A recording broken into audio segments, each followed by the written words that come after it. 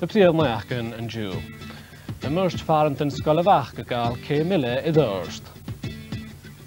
Gan y tehen y sydd as na smysau am y rosys chrombau, agos la yn dygach o mal ysyn adegwyniau a gwyb bwyn y jyfa.